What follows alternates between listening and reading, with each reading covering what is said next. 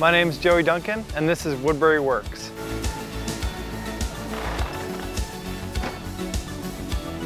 The driving range is about eight and a half acres. So usually when we clear the range, we set up the picker, we attach the tractor to the actual ball picker, and then we basically just drive like you're mowing a lawn overlapping a little bit and basically just going to wherever the balls are and driving back and forth for about half an hour.